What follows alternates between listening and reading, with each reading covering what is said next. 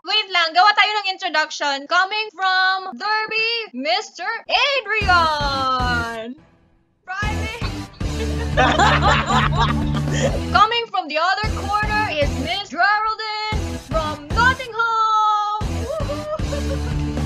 Coming from the bottom corner is Mr. the vlogger with a new drone, Alroy of Branson! Countryside versus Greater London versus Central London. Woohoo! You do this.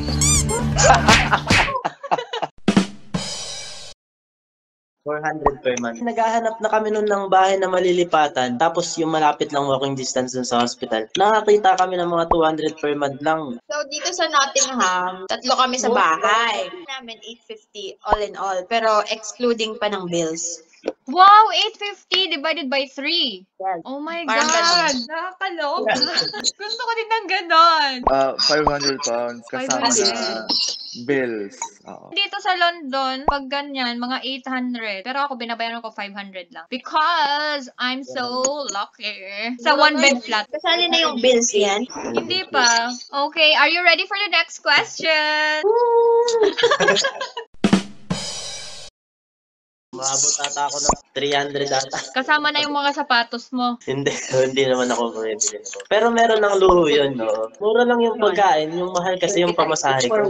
Mga 200 pounds Eh. a month. Pero, hindi kasi yung, yung rent ko dito kasama ng bills. Yung 200 pounds a month, yun yung pinaka, dapat yun lang gagastusin. Pero pag kunyari, tinatamad ka mag-take away ka, manok, ganyan 10 pounds na. Sa Pilipinas, 600 pesos na yun. Parang, laki naman ng take away. So, dapat mag-grocery ka dito, dapat magluto ka. Kaya ako, mga ano ako nagagasta ko, 600. Kasama ng mga luho doon, of course. Oh, Kasama na yung padala dyan. Hindi May pa. padala. So, hindi ko alam ano yung ginasta Ay! ko doon.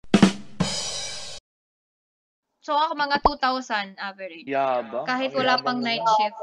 Hindi kasi meron kaming high cost allowance. Yabang naman. Ewan ko, Tinalo mo si father. 2, 3, ganun. Private kasi ako. Pre, ang yabang mo. Ah, okay, Dati-dati. okay. Private na nga tayo. Ako, mga ano lang, kung walang mga overtime, Ang yabang naman. ano, 1.7 to 1.8 lang. Ang yabang Ah, naman. ah. Siyempre, babawas pa yung rent at saka bills. Magulat ka Oo, na kay true. Wala kasi akong pension eh. So yung naku- nakukuha ko, 2,000 lang. After tax na yun. Pero naalala ko, wala akong kinakain. Nagtatanong si Gerald, oh, kumain ka na ba? Oh, kumain na ako. Pero walang kinakain yan. Tama. Started from the bottom now. No way! Oo. Puta, nahihirapan ako minsan intindihin. Lalo na yung mga slang minsan. Kayong dalawa kasi ano kayo, di ba? Puro kayo scrubs. Oo. Nagagalit ba yung doktor pag hindi mo naintindihan tapos iba na instrument yung nabibigay mo? Ay, hindi naman. Hindi naman sila nagagalit. Parang nagre-respect naman sila sa lahat. Hindi sa tulad na. Ikaw, Alroy, ano naman yung mga struggles mo dyan? Yung struggle dito kasi yung, yung cost of living allowance, hindi kasi laki ng, ng nasa Central London. Pero yung cost dito, almost the same na ng Central London. So parang hindi ganun ka balance yung cost of living allowance. So yun lang yung struggle dito. Pero mas okay dito kasi mas peaceful kasi sa Central. Tsaka yung word dito, sobrang layo ng word practice sa Pilipinas. Kasi American-based tayo sa Pilipinas. Oo. So, was there a point that you got depressed and how did you cope? Kasi ako, oo, yung first year ko. Ano, sa workplace related, wala naman. Yung ano lang siguro, home ka homesick. Ay, Yun lang. Pero okay naman. Adrian, nag-ano ka, nag-depression ka? Wala naman masyad. Kasi syempre yung pumunta ako dito. Baka before ka pumunta dito. Siguro, oo. kasi di ba Ah, ilang beses sa ganun, ng Oo IELTS. nga. Ilang beses ka bang Oo. nag-take ng IELTS? Uy, nakakaya. Ilan ba? Anim? Siguro, pag pupunta ka pa lang dito, yung first struggle mo talaga, may homesick ka talaga kasi sobrang ibang-iba ng, ng Inglaterra. Malulungkot ka talaga tapos buti lang may pera ka. So yung pagtukok mo, shopping ka ng shopping, Amazon ka ng Yeah, Amazon. Hanggang sa wala ng space yung kwarto mo. Okay, guys, so this is the end of the interview questions. I would like to thank you for spending time for this interview.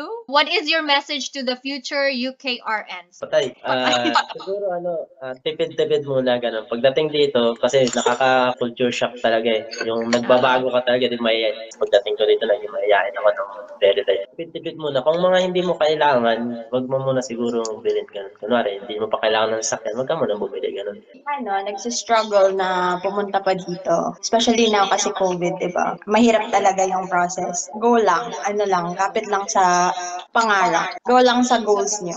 Pinakamahirap kasi pagdating na dito yung homesickness. So, dapat may support system kayo. Obviously, family mo yun. So, take advantage sa technology. Video call lang, video call. Tsaka gawin yung inspiration ng bank account nyo. So, every now and then, bawat sahod. Magpakatatag kayo. Lagaan yung sarili nyo. Mahirap mo. Wala naman kasi madaling trabaho eh. Dito, bayad ka ng maganda. So, think about that. Oo, never give up, puta. Never give up after kahit 6 or 7 or 8 pa yan na tries ng IELTS. Never give Okay, thank you guys. Okay, tapos na ang vlog so pwede na tayong magwaray. Hindi ko rin idaman ng Tagalog ni Henry. Kaya nga. Nakaka- pero Talaga. Siguro ako kabusog. kaya no, nagbe-breakfast ka pala. Hey guys, you can't believe who's who's here right now in this hospital. It's LeBron James. Hi LeBron James. Say hi to my vlog. Us and Vicky. Fine, fine. It's a little star now. Oh my god, you're so you're so handsome in person. Oh my gosh, I you are not handsome.